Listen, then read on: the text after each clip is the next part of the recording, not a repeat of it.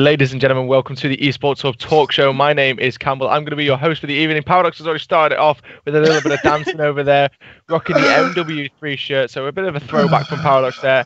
And joining me as well is Tony, of course, who's now rocking the red jersey instead, a different style. Oh. I like it though. But let's introduce the boys anyway. So Paradox, how are you doing, man? The, one of the biggest and best events we've seen in Call of Duty just recently happened, MLG Dallas. We're going to be talking about it later on, but just really quickly, how are you doing, man?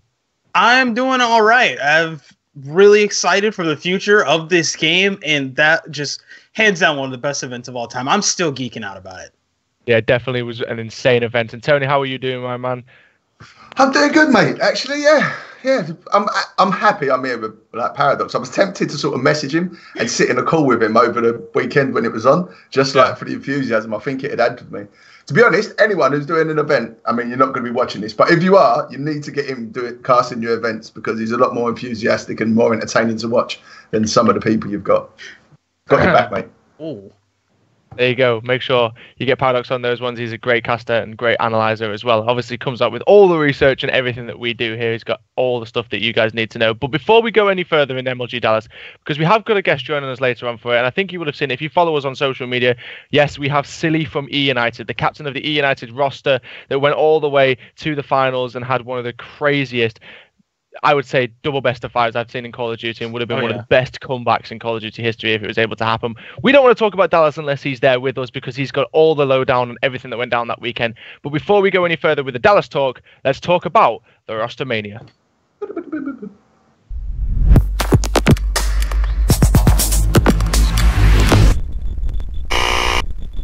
Boom! Rostermania that. time, baby! It's Rostermania time. There's so much been going down in the Rostermania scene, and we want to start with it. And we want to start with the AM teams, the professional teams, any team that's had a change. And you can let us know. Remember, let us know before our show starts, and we will have a go at talking about it on the show. So let's kick it off straight away then. So have to talk about it. I mean, Millennium Oh, roster man. came out of nowhere. I didn't even expect it. I didn't think it was going to happen. It was just crazy to see Infused get rid of the roster that has been with them for so long. You kind of you look at Marky B and you think he's like a child to Infused. Like Yeah. he's he's their son. He's you know he's grown up with them. He's been apart from them for I think it was two plus years. And then out of nowhere they start walking out with Millennium jackets on, and I'm like, what's going on here? So we was only briefly talking about it the show before Paradox how Millennium don't have a Call of Duty roster Mhm. after obviously getting rid of Zeke. And I was like, oh well, that's it. Then Millennium are probably just going to take a break. They're not going to get themselves a spot. No, Millennium money talks, and they're able to come and pick up that Infused roster. So let's talk about it then. Infused now lose the spot in the City World Pro League. Obviously, they don't have a team for it. Millennium have taken that team. I mean, it's a good team though, isn't it? Paradox. Let's be honest. It's a good team. yeah, it's a good team. It's just for me, I'm just shocked. Like this completely came out of left field for me. And looking at it, I just wonder like we've heard rumors of how much money and everything was traded between the sides. Don't really want to get into that, but how, what is the point for infused here? Like, what was the decision? Was it just something based off of the money, or like what? That's a good question, and I kind of want to ask. I don't wanna understand ask- it. Yeah, I want to ask Tony about that. Tony, you, you know, you're an organization owning yourself. You pick up rosters. You've had rosters in the past. I mean, if you're in that position where somebody's coming to you with a decent amount of money and says, "We want your team," and you know you're going to lose the exposure of the LAN league because you're not going to be able to pick up a team in time for it. I mean, do you take the money over the fact that you've got one of the best teams in Europe? Bearing in mind the only team in Europe that's placed the highest at the previous two events. Infuse ain't idiots, are they?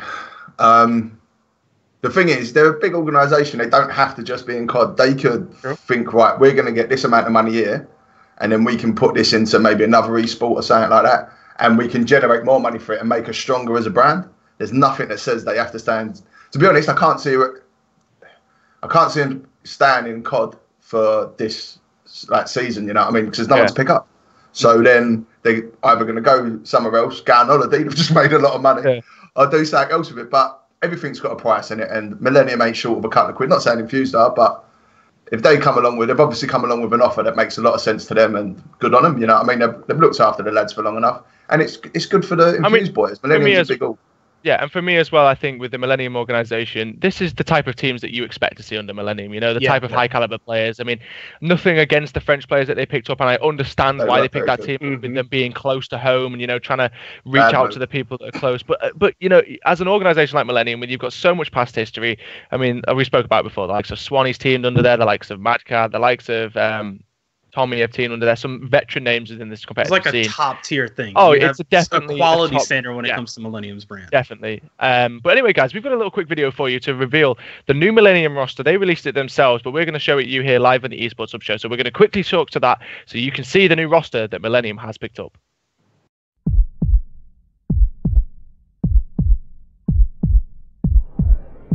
is it. They're able to take it.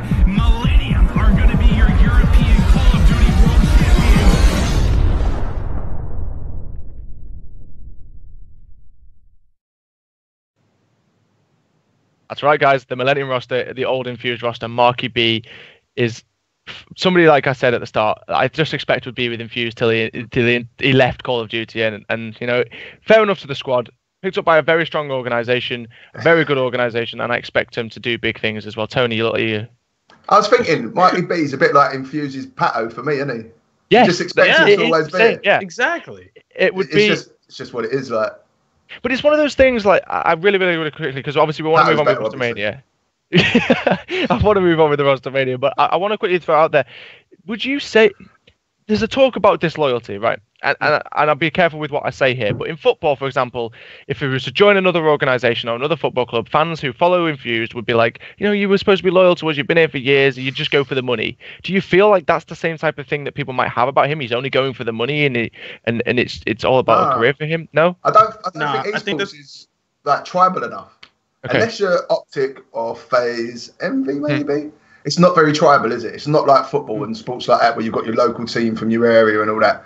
Yeah, yeah. um, The biggest rivalry probably that we have is EU and So Hmm. you know what I mean. He's still in the EU. Um, I, that's a, it's a shame it isn't like like that because I think it'd sort of help esports grow a lot if you had a bit more sort of tribalness about it. But yeah, I, I- I mean, I personally can't imagine it being a problem. I don't know about Paradox. He's the smart one. Yeah, I feel like you have like your optic, your FaZe, your envy, and the weird thing with that is like normally when someone leaves optic, they either go, they normally like go to envy and then somehow end up on FaZe, right?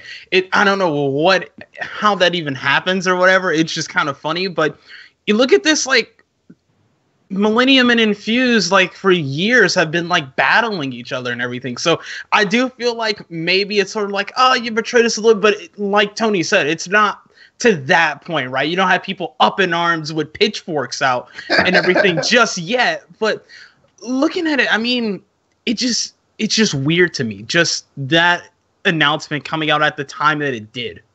Yeah, Yeah. definitely.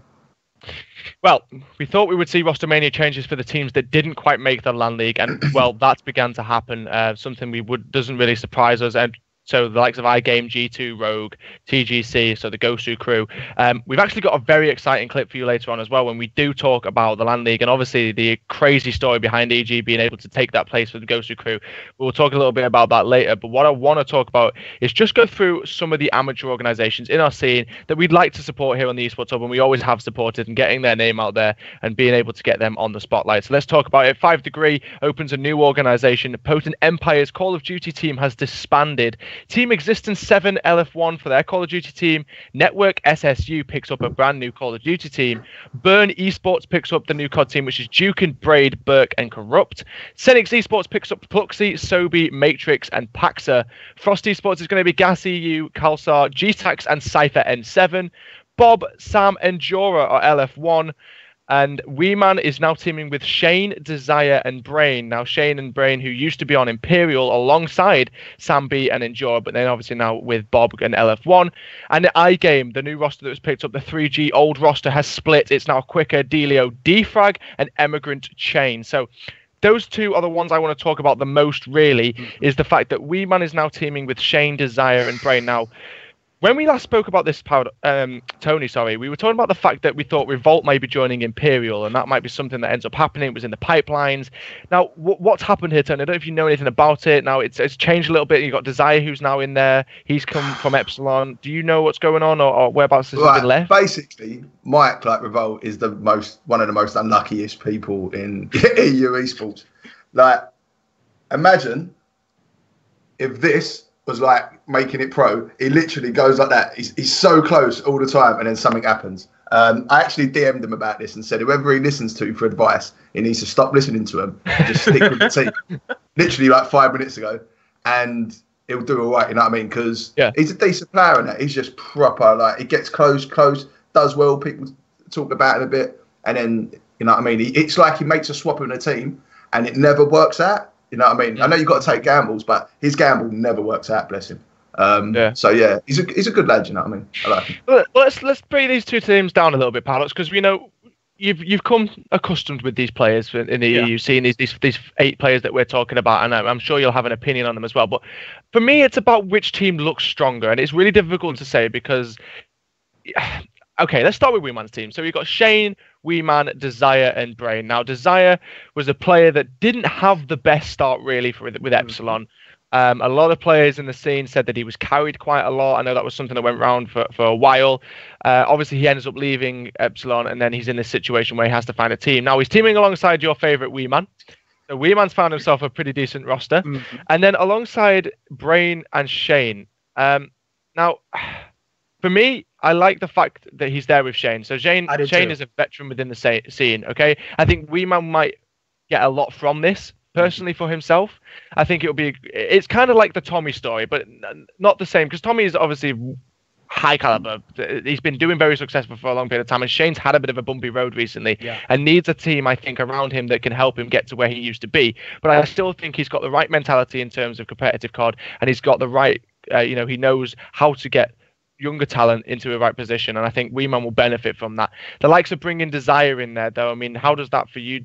Does Desire fit into this squad? It's not a place where Desire's been for a long time. You've got to cast your mind back. He he was fourth place at champs. Yeah, You know, it's and now he's in a position where people would say he's not in the roster with the highest caliber of players. Mhm. But I still think for the position that Desire's in at the minute, and how his career is looking at the minute and how it's going, that this is a point where he can prove to the community that he can be once again at that top spot.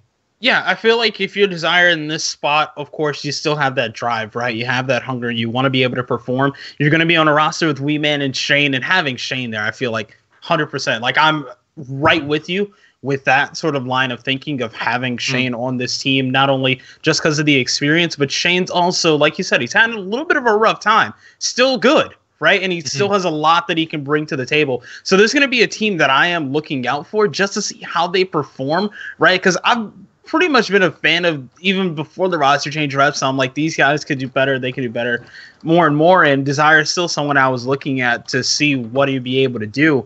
So Mm. looking at them in the future, I feel like this might be a team that we see try and fight when it comes to CWL Anaheim and we start to look at that relegation. This might be a team that we have to look out for in that situation. And one one thing for me as well, uh, casting back to ESWC, when Imperial went out, I've never seen. I mean, you look at the whole Imperial roster, which back then when they were at ESWC was Shane Brain, um, and Jora and Sam B.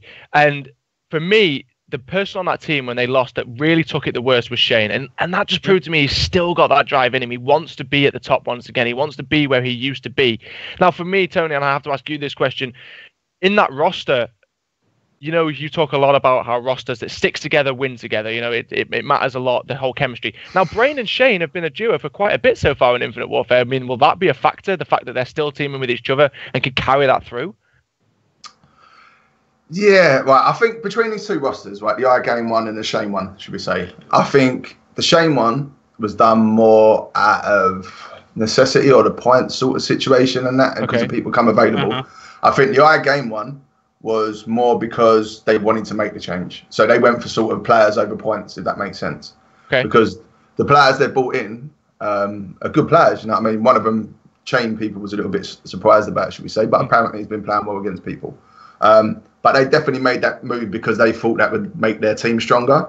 And then because of that move, it then meant the other two left who didn't maybe fit in. So that meant then made the made it available for Shane to, to make the changes. You know what I mean? So out of the two, I think the I game one might be a little bit stronger just because it was that was a decision that was mentally made to improve their team. The other one's come around because two people have gone available. At the same time, I still think it will be good for Wee Man to be playing with Shane um, because he's one of those people and he's been around Wee Man's first season in the spotlight, should we say?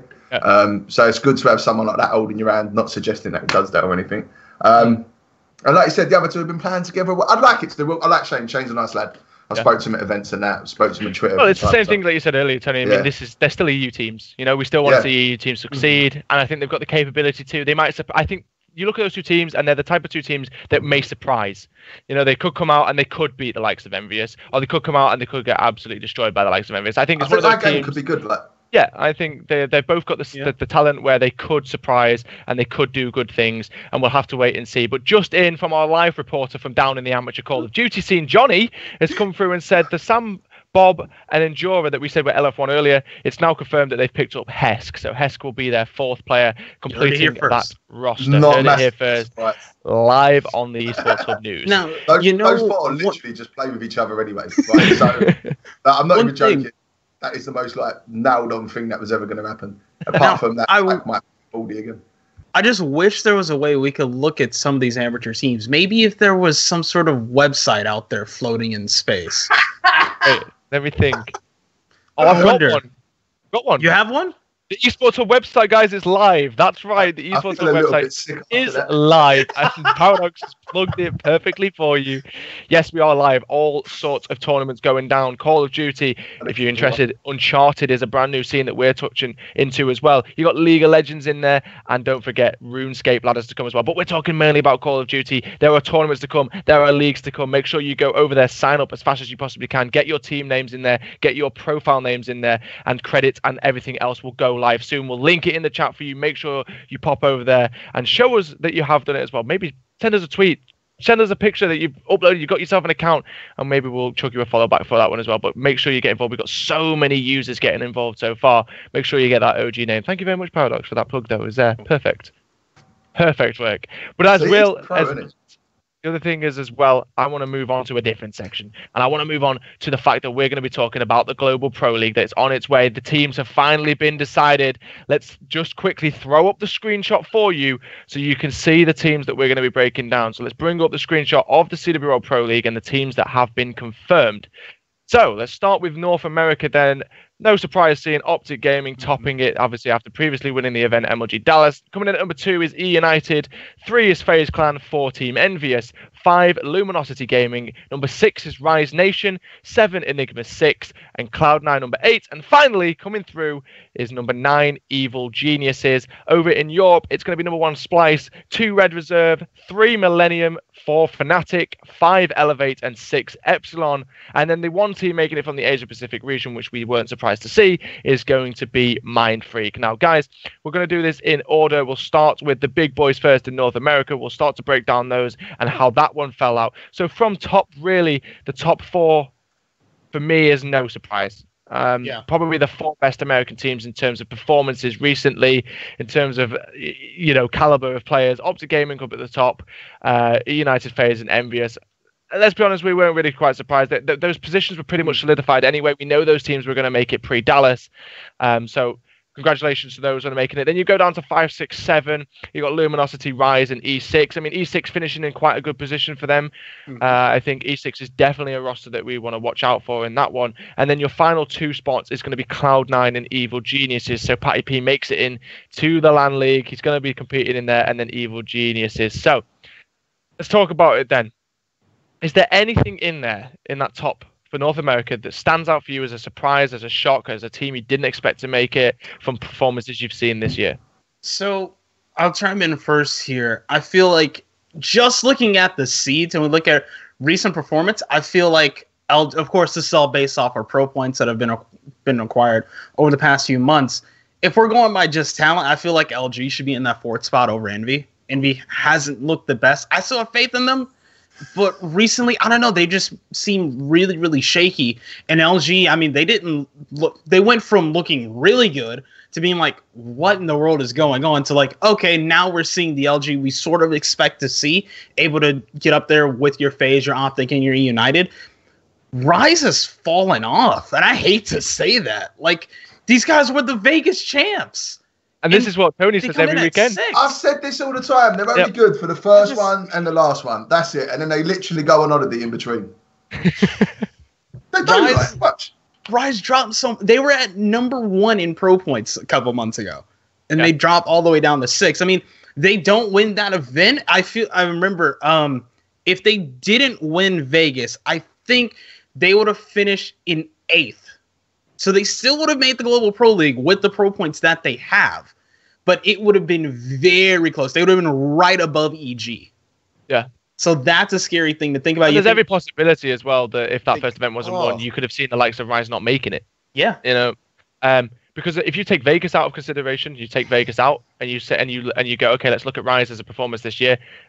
Not really been a good team whatsoever. Um, and were it shocks me because that Rise roster stacked of some incredible talent, especially Black Ops 3 talent. You look at the, Yeah. the players on that Rise roster in Black Ops 3, some of those were the top four teams. But it's not all about talent. This is what the thing, right? It's talent's only good if talent applies itself properly. Right. The minute it doesn't, talent is useless. And people that work hard and that will start doing better. And maybe they just do well at the start, take the foot off the gas a little, or they try really hard before the game comes out, harder than everyone else. So they get that head start or something. There's got to be something in it because it happens a lot. You know what I mean? There has to be a reason why they have this drop off.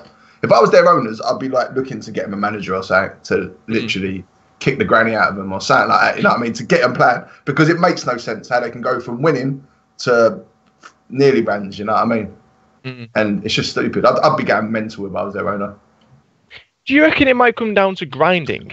Because l- let's take it In, in the early then. stages, I would say yeah. The reason they win the first event is because you can't put more grind time the in. game at that point. Yeah, y- everyone's put the same amount of time in roughly.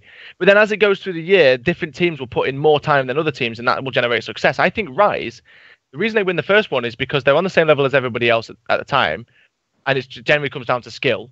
Mhm. And then as the game gradually goes on, maybe they just don't put in as much time as all the other teams do. Maybe that's the reason. Maybe they need somebody at the Rise organization to go, look, we want to win titles throughout the year we need to start grinding. We need to get on top of this. We need to make sure that we can come back with some of these titles and not just be a team that's known for winning the first one and the last one. Um, They need Big Daddy Newts. That's who they need. Like yeah, there go. Sergeant Rise, Major Newts. Rise Newts. I feel like I've heard that like we look at Rise, it's not a team that we normally expect to make those deep runs in the online tournaments and the 2K series and everything. I think I heard Aqua's moving, so he'll have a more reliable internet connection. But hmm. even then, this is a team that online I have lower standards for them, unfortunately, just because of their history, right? It's nothing to the nature of the players, really talented players. I feel like a land setting, an in-person setting is really good for them. That being said, if this is if we get to the Global Pro League and we see the rise that we just saw at Dallas, I'm shaking. Like in a Mm. bad way, because that's not who you want to see. And even then, you have like right below him, you have E6, Cloud9, both technically upset potential teams, which the quotations for Cloud9, kind of just because of which Cloud9 you're going to get on a given day, right? And we've had the changes in the meta throughout the last few months too. You feel like Rise and E6, I feel like are two teams that really were kind of hurt by that, just looking at previous placings. So maybe looking at the OSA a little bit and how that's changed the game, but really don't know. I'm really interested to just see this story arise, develop throughout the rest of the year, honestly. Right, let's do a little bit of a touch on the teams in the Europe region then as well. So obviously we said Splyce, Red Reserve, Millennium, Fnatic, Elevate, and Epsilon Esports. Now, for me, top four, I'm more than happy to say that yep, they deserved it. Uh, the Fnatic team is done con- so well um, throughout their time as an organization and as a team. A lot of people at the start were like, you know, you picked up Wuskins. Told you so. a lot of people at the start were like Wuskins, you know, scraps. So you know, Tommy just is a, a wonder kid. The things he can do with players that make them into better players is insane. They've still got Um, to be good though. For example, Tommy have could still have got to make you relevant. Like, True. oh me, you know what I mean? But it's, True. it's true. You, you still have to be good. Like, Yeah, you still have to. You still have to. I, I, I think I've don't heard take Tommy it say before. Like, Yeah, and I think I've turned, heard it as well. Tommy said, you know, if you can shoot your gun straight, everyone can shoot the gun straight. Most people can shoot the gun. It's about how you play the game as a team, how you rotate on time, call outs. The very, very simple things in game can be some of the reasons that separates a pro from an amateur. And I, I I've had this. to my lads, right, that the difference between the different levels is the amount of mistakes you make. It isn't how well you shoot in that. It's, in any sport, it's the amount of mistakes you make because good teams will capitalize on your mistakes. Mhm. So a pro might make one mistake, like a top pro might make one mistake every map, or one mistake every two maps. You know what I mean? A bit down, it'd be two mistakes, and as you go further, it'd just be more and more mistakes that are made, and that can be due to lack of composure, wanting to make hero plays that ain't necessarily needed to be made, um, not listening to your teammates. So if you can get four people that have the ability to shoot, will listen to each other and respect each other and don't make many mistakes, you're always going to do all right. Which is why I always thought they was going to do good. Do you know what I mean? Because You of need how they that discipline, right? Yeah, definitely. Definitely, and it makes a lot of sense as well. Um, Elevate and Epsilon Esports then going to come in at fifth and sixth on that one. Um, unfortunately, Oh. aren't going to see any of those EU teams that we were talking about. You know, the, the likes of iGame, the likes, you know, there's these smaller EU teams uh, making it in. Um, and I think the right teams made it. Yeah, Yeah, I would To say be honest, for sure. that's the one I- that should. the have done it. teams that deserved uh, those spots. I think with Europe, it was a lot of deserved spots. It was a lot of Epsilon got teams- lucky. That's Yeah. not made what they qualified by one round. Yeah, like they got lucky. Like, Yeah. oh man. uh, Same as Epsilon. They need to get the same person that Rise is getting. Right? I'm going to Yeah. work for both of them. I'm going to literally fly between the two countries with a baseball bat and make the players play more. You know, that race between Epsilon and iGame, I was watching so much because what they both got to that qualifying matchup to get into pools. Mm. Epsilon, in no, they went like one more. I want to say. Let me see. One, two, three. It was close. Okay, yeah. So they got to the qualifying. Epsilon beat Rogue, where iGame lost to G two. So then some things go crazy. They both find their way in the losers bracket, and Epsilon ends up losing to Era, where um, iGame was eliminated by G two. So yeah, that was in the losers bracket. So both teams got to the qualifying match to get in the pool play, lost, but Epsilon won theirs to make it into the champ bracket, and that's what secured them that spot. Yeah. Is absolutely ridiculous. I just want to They jump to the chat. be in that situation. Yeah. That's so much to to stress. chat real quick though, uh, just because there's some people getting involved in this. So Ramsey Rampage says Fnatic are the best EU team in my opinion, with the best EU captain. Um, I, I guess that's something I can kind of agree with. Um, definitely a dominant one. I, I- would you put them as the best EU team? I don't know. They're definitely up there. De- Well, them- Tony would. Splyce. Come But on. you know, you got Spl- yeah, Splyce who against Optic Gaming in, in the Dallas was absolutely insane. Um, and pff, I, I was literally screaming at my TV. I just really wanted the EU team to do it, um, and and to the likes to see an EU team. I mean, I made a tweet that said. Uh, one small step for winners bracket finals, one big step for EU Call of Duty. And, and in my,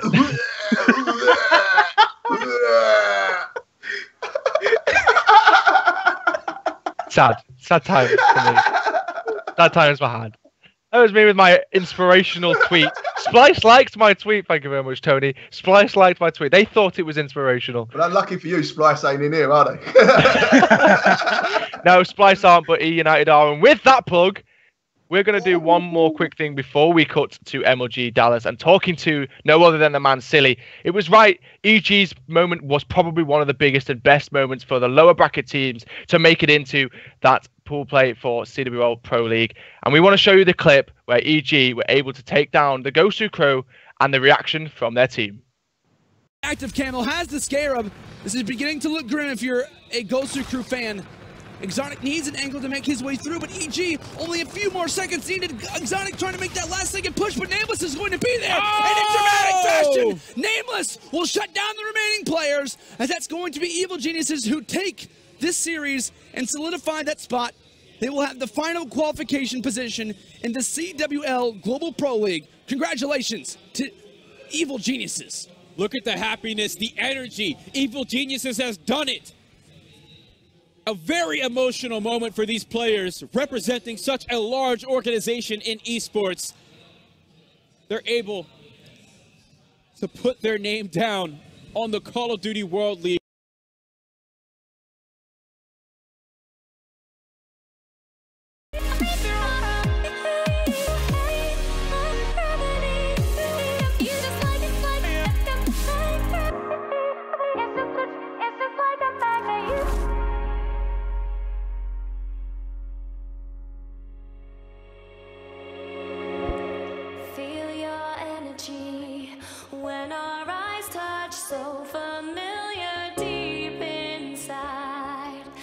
You were already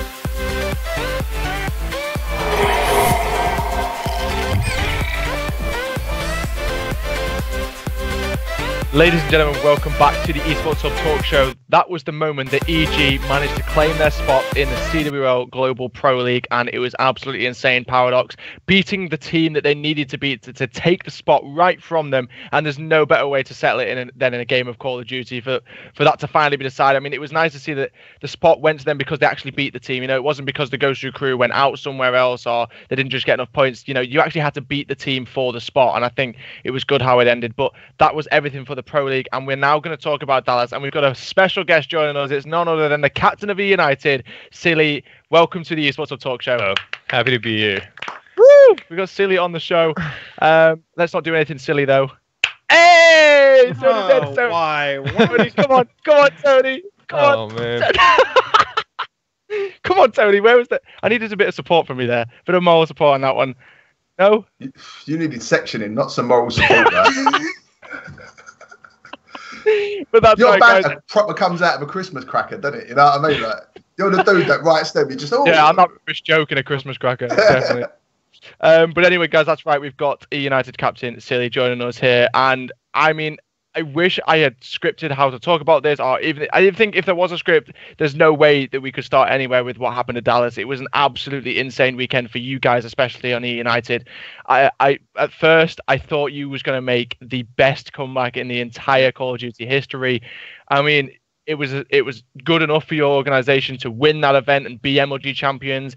And then people were talking and debating whether it was going to be a one-off after ESWC, and you just went on to just shut up every single hater about E United and how. I mean, I have to ask you the question, silly. How did it feel that you took Optic Gaming, an organization that not many teams take to to game three, game four, never mind two best of fives? How did it feel for you when you were playing in that series? I mean, it felt great. I uh, I honestly feel like we got more props from the almost uh, double reverse sweep than we actually did from winning the last event. So it seems like a lot of uh, Optic fans have been giving us some props for that at least. So it feels great.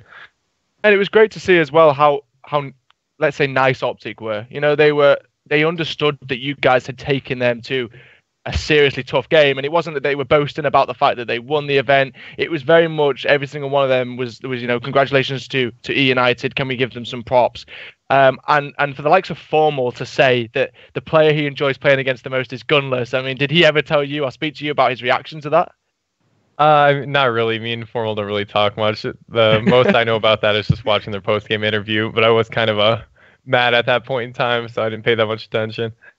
Yeah, I mean, it, it must be so annoying. I mean, I, I losing the game 3-0 for me, I think it's worse if you lose like the, the way that United did lose. It's so frustrating Yeah. to play so many games of Call of Duty, and it's literally in touching distance, and it just gets taken away from you. I mean, for the whole event in itself, silly, I have to ask you about MLG Dallas as an event. I mean, how was the event? uh, You know, besides the fact that obviously it went the way it did. I mean, uh, the last MLG Atlanta and MLG Dallas ran perfectly. No complaints about production or anything like that. All of our matches were on time. They're doing a great job this year. Yeah, and it, it's looking like a, we had a really, really good um, viewership as well. And it's something that we talk about in Call of Duty a lot. You know, we compare ourselves sometimes to the likes of CSGO and the likes of League of Legends. And, you know, they're in the hundreds and hundreds of thousands and close to millions sometimes. But I think the finals, the Optic Gaming versus United, especially the second best of five, we was peaking over 110,000 viewers. And that is some serious viewership for Call of Duty. Um, and I and I really do think that this year is looking really good. But the question is, though, Silly, where do we United go from here? So, I mean, is it crazy that you are now classed as probably the only team that can really take Optic Gaming. Uh, I mean, it feels great that people are labeling us that way now. I'm glad we finally got uh, some respect. We beat the online uh, warrior thing, we beat the one event wonder thing, and just hopefully we can come back and win the next event now that we know what our weak points are. And going into the pro league, then where are, where, where is the points in the United where you, you feel that, that that last little bit, that last little edge that's just not pushing you over the line? What is it that you, you feel that you need to work on as, a- as a team before the LAN league starts? Strictly, just our search and destroy is the only big weakness I think we have. Everything else looking pretty promising, so just got to practice that until the league starts. For me, though, it's about the roster that you picked, that, that you team with. You know, Arcitys, Prestinni, and Gunless. Now, we want to, we always like to have a little bit of fun here, silly, on, on, on the Esports Hub Talk Show. And I have to ask you, in ranking order, who is your favorite teammate? One, two, three. Oh wow. Um, damn, it's tough. Well, my number one's got to go to Gunless because he's kind of my my duo on the team Okay. because he, obviously he can't break up the two brothers. And then my probably number two would probably be Arcitys Alex just because he's so nice. He never has any bad vibes or anything. And third, Preston. Not that I dislike Preston or anything, but you know, this is just how it goes. He has to get a how it's number. ranked. He has to get a number. So, I mean, your eyes for the pro league then. You're set on obviously taking first. I mean, I, I wouldn't be surprised if it was anything else. But I mean, is it Optic Gaming that is your toughest competition? I mean, are they the guys that you really worry about playing against, or is there another team in the back of your mind that, that you, you just don't like playing against? I mean, at this point, they're probably the only team we're actually worried about for the most part. We we did lose two games at the event that uh, you know, we're not going to make excuses for, but nine out of ten times, I think we should beat the teams that we lost to, other than Optic, of course. Well, we've got some questions from the chat, and that reminds me, guys, make sure you do fire some questions in. If it's on social media, use the hashtag ESHUB on Twitter, or just simply put it in the chat. We are watching it, and we will ask the questions for you towards Silly. So one comes in from Radiant Quinn, uh, Silly, and it says, Who would you want to team with? And it cannot be the people you're teaming with now, but if you had to pick up three people to team with, who would it be and why? Um, if I had to pick any three people, it'd probably be like any combination of the three FaZe guys. They're probably my favorite team other than ours. And I've I've known like I've known Clayster since I was a little kid playing COD since I was like 13. So me and him are good friends. Just any combination of the FaZe players.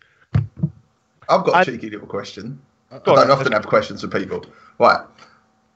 You have obviously smashed it this game.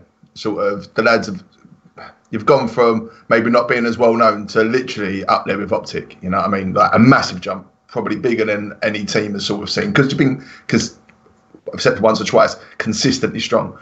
So you've obviously clocked how to play this game. You've got it now, do you know what I mean? Because you're doing so well with it. So what would you say is the secret to this game? What makes you so good at this game? Um, I mean, just teamwork. Uh, we uh we don't have as uh, our communication is as frantic as everybody else is, and it's because we understand how each other plays so well, and we kind of just know how to move around the map together without even saying anything about it. Just team chemistry, find the right people to play with, and just keep grinding.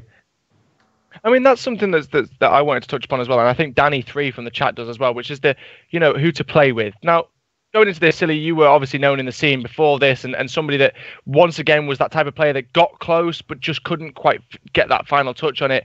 And I think when you picked up three players that not many people knew, it was kind of one of those things where it was a risk. I mean, a lot of people will agree it was a risk that you took. And it's ended up working out for you and benefited for you. But I mean, why did you decide to team with the team that you currently have? I mean, that's what Danny Three asks as well. Uh, you know, where was it that it came from? When you sat down with the United, or how did it all end up happening? Um, actually, at the end of Black Ops 3, for that last Orlando event that ended up not happening, this was my exact team that I had for that event too, and we had the same kind of online dominance that we had in this game on that game as well. But I ended up leaving them after the event didn't happen to go to United just to be under an org because I couldn't find an org with them; they weren't well known. So when my team underperformed at Vegas, I went right back to the same teammates I had at the end of the last game and just picked them up. So it was it, basically it was a lot of like you played with these guys before. Yeah. You know how these guys work. I mean, this is once again going back to what you said, Tony, about teams with structure, about teams that played with each other. Sticking along generates success, and that's obviously ended up working for Silly and, and, and the United as, a, as an org. Uh, I know Burns, and he's a he's a great person, Oh. and he's really like down to earth. But I mean, E United as an organization, what's it like playing for them? I mean, they really just, you know, they care about their players a lot. Unlike uh, other organizations have been under that only care about, you know, their team's overall placings. They actually they treat us like family at United. So best org I've been under. Period.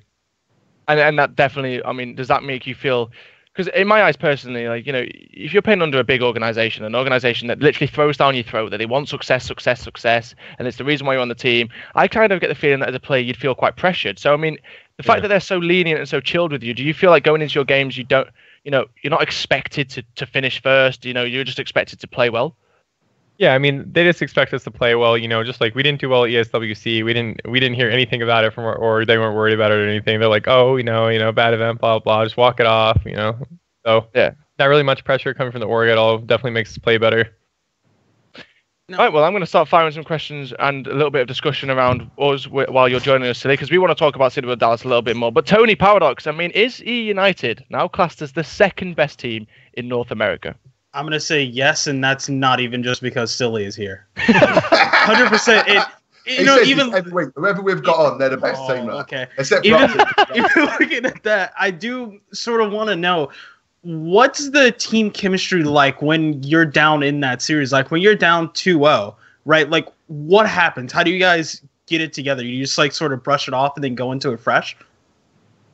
Um, I mean, we we honestly kind of know when we're about to go down. We always we start off slow in almost every series, and when we get two of our you know worst maps, the first two maps, we're like, all right, guys, we lose these two maps, and we got our best uplink, we got our best hard point, and then it's game right. five. So we just go a map at a time and just I love hope the it fact pays that you go into it going, yep, well, we're probably going to lose this first two, but, you know, When it- whatever. When it comes to optic or something like that, I mean, you just gotta think like that sometimes. Yeah. I mean, that's some confidence, if you ask me. The fact that they, they know, you know, yeah, we're going to lose these first two, but we're going to take the next two. I mean, come on. Who cares that we're 2 0 down? Um, some insane confidence. And, you know, that's always been a thing for me, which se- which separates amateurs from professionals, is the ability composure. It's such a big word in Call of Duty. Composure is one of the things that made Optic Gaming one of the best teams in the world. Because how many times have we seen Optic Gaming go down and they've just been able to bring it back? Whether it's a hardpoint game, whether it's a search and destroy, that they're I think who were they five two down to? Was it? It was actually United, wasn't it? Were they five two down to you? There, we were actually up five one, and they 5-1. came back and won that map against us. So yeah. there, so there's the composure, the, the composure talk, um, and there's, there seems to be there's a little bit of like a rivalry building between the United and Optic Gaming for me. Uh, obviously, you had the likes of Prestinni stood up and he's doing all this to the Optic fans, like I don't care what you think. Uh, Gunless was the same. Arcitys, I saw you on the end silly. You're like, I don't want to get involved with this. I know what the Green Wall's like. Like I'm not getting involved with this. Oh yeah, no more hate from me. on the way back to the hotel room. That's not happening. Um, but obviously, you know, those three players really a lot energetic, and then you've got the likes of um, this event where when you guys come out, the Opti fans are booing you. But I mean, that's just the you know, Opti fans will do that. They did to FaZe as well. I know that Crimsix made a tweet about it, but it seems like there's this rivalry being built, and the it, soon Paradox we may see the new E Classico. Where it's going to be E United going up against Optic Gaming.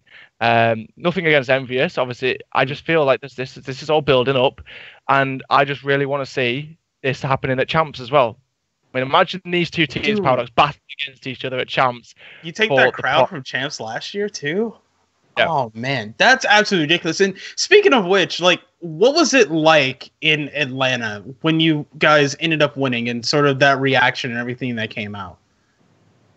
Um, I mean, it, it was a first event win for all of us, so we are all just shocked. First off, that our first event together, we came out and won, and we kind of were just more excited that we were able to silence as many people as we did.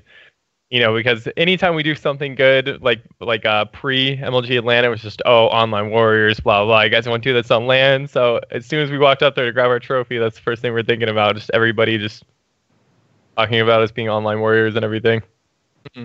And it must be like, because the feeling of proving somebody wrong is like amazing. We can all agree with that. Yeah, when you prove someone wrong is is amazing. Silly's just doing it like three times in a couple of months. Like he's proven like so many different things, so many people wrong, and it's just going and going and going. It's just a ball of success. Um, but I want to move on to talk a little bit more about the the CWL Dallas and the, and the event. Um, and I guess you could kind of have an involvement in this one as well, because we want to talk, Silly, about how good the Europe and the APAC teams are. Okay, we've always been talking about it. How good are these European teams?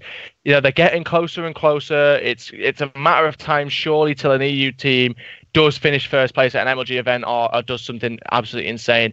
And I think for me, it's Splyce. Um, that roster is just stacked with talent for European talent, and I really did think that they would take Optic Gaming. But for, for you as a player United, when you come up against your European team, I mean, do they faze you? Do you do you guys kind of think, oh, we'll just brush them aside and then we'll play against NA teams? Like, how does it feel for you, Silly, when you come up against some of the best European teams? I mean, uh, our I believe our first match at the event, we almost lost to uh, Millennium or Infused. We went game five with them. That was a really close game. We were actually the entire time the you know the main EU team we're worried about is Splyce, but uh, we were kind of hot when we played Splyce, and we actually had like a really uh, one-sided series against them for once. It wasn't back and forth like it usually is. So happy about that.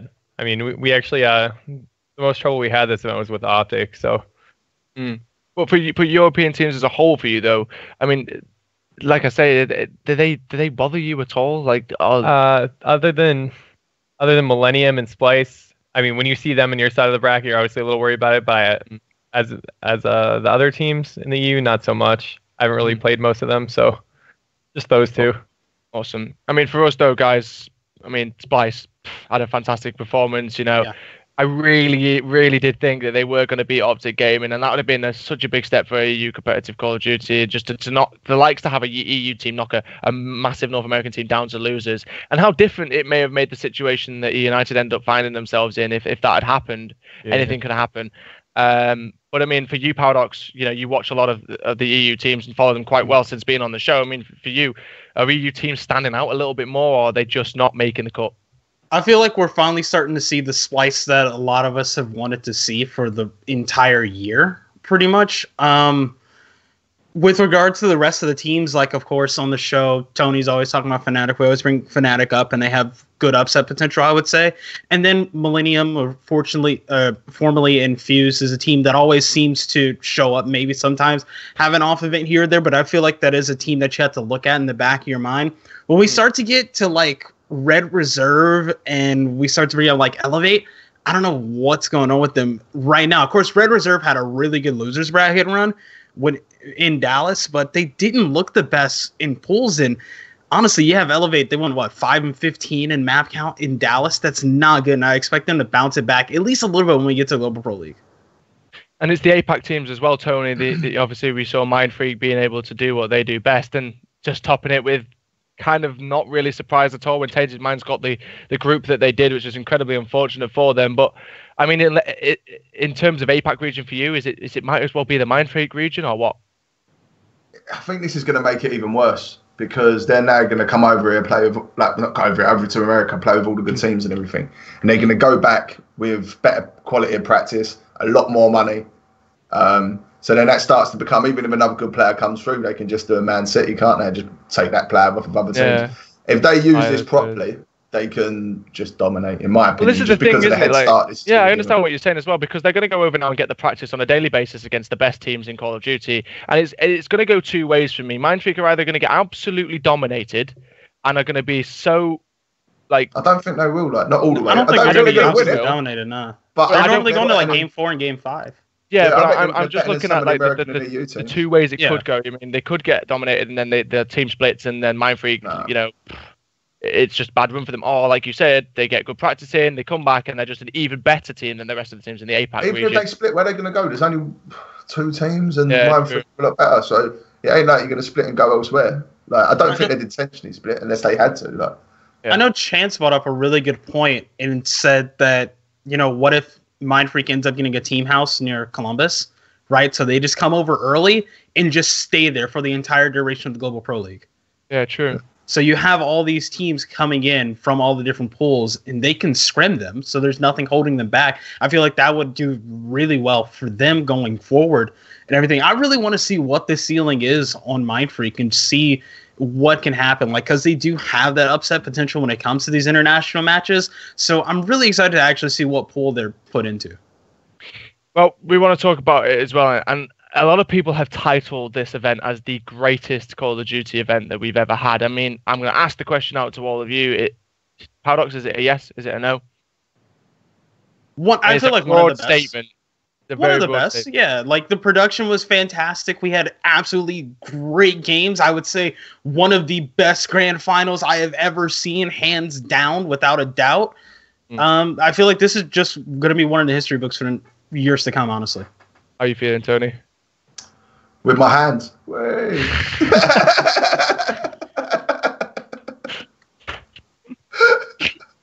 It's one of those moments. I know. No, do you know what? Right? One of the best things for me for Call of Duty for a while was X Games. See, when they first had Call of Duty at X Games, I like that because it sort of put it on a bigger stage, sort of thing. Um, I think they said one of the best finals. I really did. I ain't just saying it to Z, you know, I wouldn't do that. Um, I was actually in bed, right, I had laptop on my lap. The wife next to me, she had work the next day trying to sleep, and I'm going, like, like, Hey, honestly, I'm, not, I'm like a 37 year old man, you know what I mean? And I'm sitting there getting excited about it. Like, what's all this about? Um, yeah, so yeah, This it's is going to be good. Yeah, but that's it, isn't it? I mean, it's always getting bigger, and hopefully, it's always going to get better.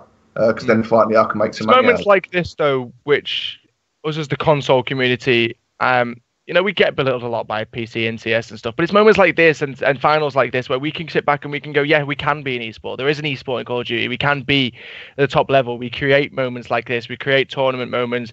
There's storylines now. I mean, how many storylines do we just have need rivalry, mate.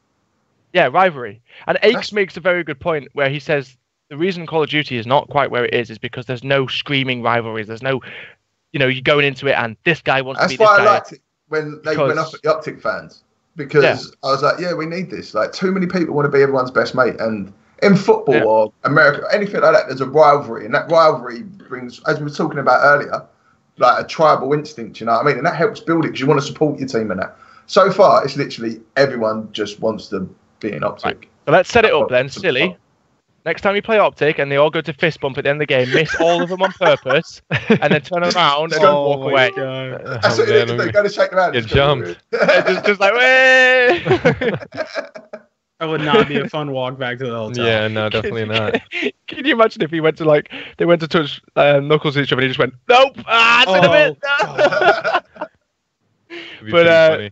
No, some some rivalries definitely being made from your teammates though. I mean, like Tony said, the fans thing was one thing that really rivaled the community up, and I think people wanted to see the rematch. You know, the caster spoke about it, saying that we need this rematch between United and Optic. You know, another one to, to see whereabouts it goes. Um, but I think now we're we're setting ourselves up for number three, aren't we? So United took the first one, Optic Gaming took the second one. Now we're going into the third one. Maybe those two teams will meet again to see what will happen at that. Um, it'll be in the Pro League most likely, though. But uh, I want to just quickly jump to the chat, see if there are any more questions coming in for you.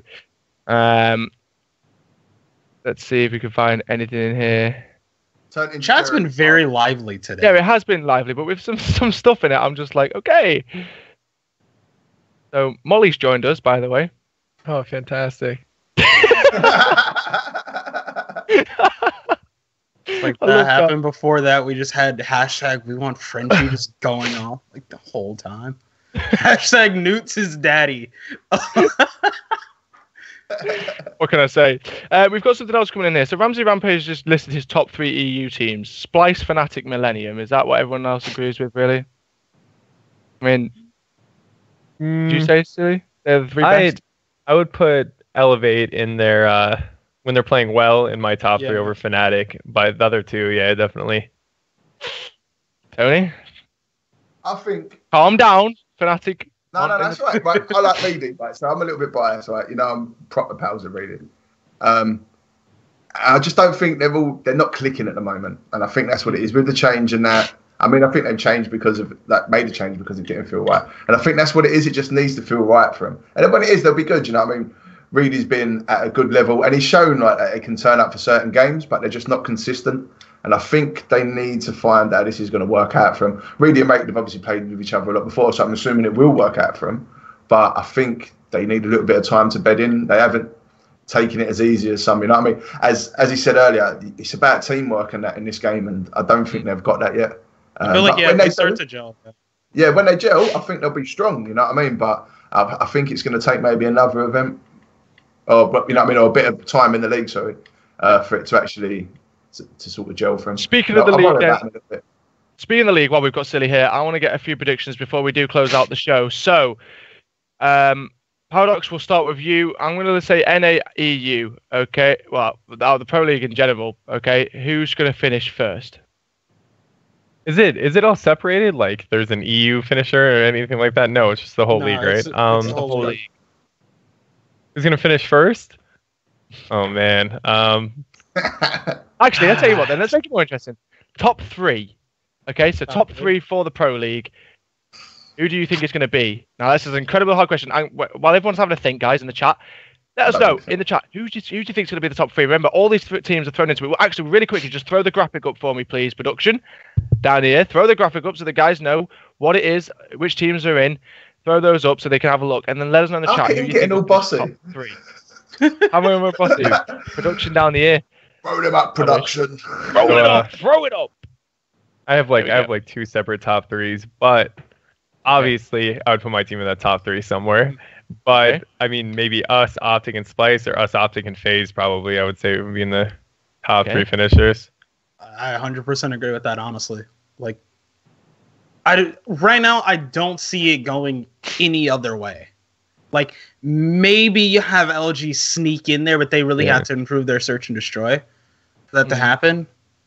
So yeah, that those are the four teams right there: Optic, United, FaZe, and Splyce in no particular order. Okay, Tony? I agree with it, but ain't it nice that there is an EU team in that top four? Yeah, it is. Because There that's is- what yeah, always that happens. is Do you know what I mean? Yeah, The they're like- Americans have done us proud, Tony. I'm not just saying that, but it wouldn't have always happened. You know what I mean? Like, I like it. I appreciate it. I hope, you, Um, again, I hope United do well. I, I like it. I, I get bored of the same. You know what I mean? Of the status quo. That that's one of the things for me as well. I think from a lot of people is this is the whole there's not one team just dominating every weekend, um, and and I think the only reason why Call of Duty wasn't boring back then when it was Optic is because it was Optic. You know they've got this massive fan base, so there was loads of people watching them, um, and they were enjoying the fact that Optic were winning on a daily basis. But I think one of the things that makes sports and esports in general is the fact that we don't know who's going to win. Um, you know, you could pick top three teams, you could pick top four teams, but I think with this game in, in itself, it, with Infinite Warfare, it's so incredibly inconsistent that anybody can win on any given day. And I think that's what makes this game, in, in a way, quite fun. I mean, obviously, there's a lot that comes down to skill, there's a lot that comes down to team chemistry, and there's a lot that comes down to work, which has been proven from the likes of Optic and E United by the time, you know, constantly making it towards those high end areas. Um, for me, top three, I, I'd probably have to go. Um, I think I'm going to go Optic and E United. And then I think it is going to be an EU team, but for me, it's a toss up between Splyce and Millennium. Millennium. Um, Yeah. I think Millennium have yet to hit the ground running. I think there's still a lot left in that team that Mhm. can cause a lot of upsets. I still think they could take some of the big boys down. Do you know what's interesting as well? None of us have mentioned EnVyUs. Now, They haven't hit their So stride reason- yet. I don't. I mean, I you're don't looking know at a world going on with champion. them. You're looking at what a team of world champions. I, I'm I definitely feel like right they're they're one of the teams that's going to uh, make their their big run around champs time later in the year. Like Do think- same thing same thing with like J Cap and you know I, I feel like he's always better towards the end of the year. They just, as soon as they learn the game over you know as soon as they adapt everybody else's play style they'll be a top four team. Definitely around champs time I would say. I would say stage two champs is when we'll see. Yeah. And you really get up there. We've got some really interesting stuff in the chat, so let's go for it then. So, uh, X Swaption says E United, Optic, and FaZe. John P. Casting says top three is going to be OG, Cloud9, and Fnatic. Justin? Oh that one's uh Yeah. We've got Molly Cod saying Optic, E United, and Splyce. Uh, Ramsey Rampage says E United, Optic, and Splice as well. Uh, I'm George says EG, Mindfreak, and Epsilon. I mean anything can happen you know. if that happens, well, we'll have to wait and see. That sounds like Uh, a Jack prediction. I mean, let's be honest though, Tony. I'd have put Tainted Minds in there, even though they hadn't made it. If it was me, You would have done something like you'd have got the names Yeah. on. You'd have I- I made would up I an organisation that wasn't even there, mate.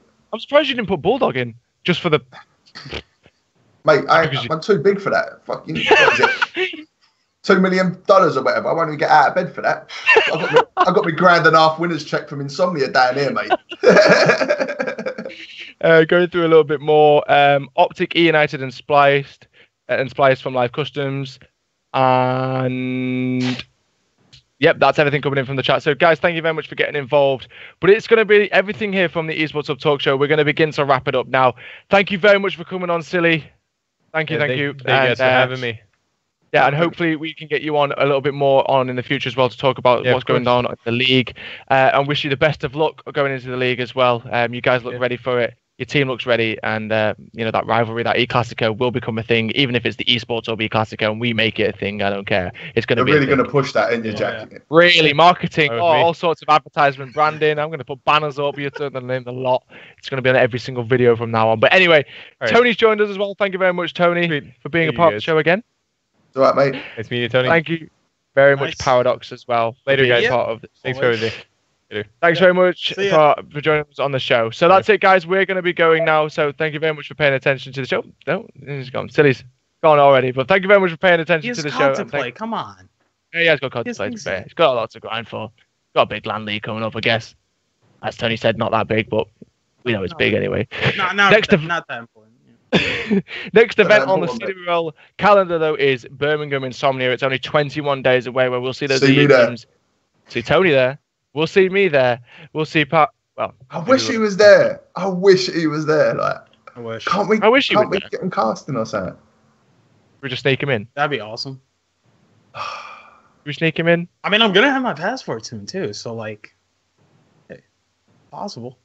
How can we sneak him in. I don't know. I mean, I'll buy him a ticket. You don't need to sneak him in, but like, how poor do you think we are? We can't afford between like all of us to get him a ticket. Uh, I don't know. Anyway, it's the end of the show, guys. So we're going to go now. Thank you very much for tuning in, and peace.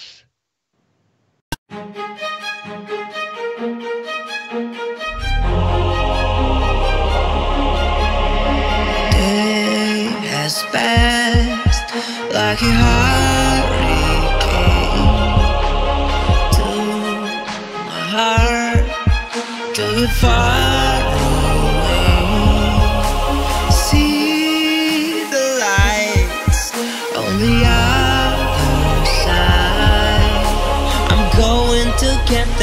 There hope we will meet there.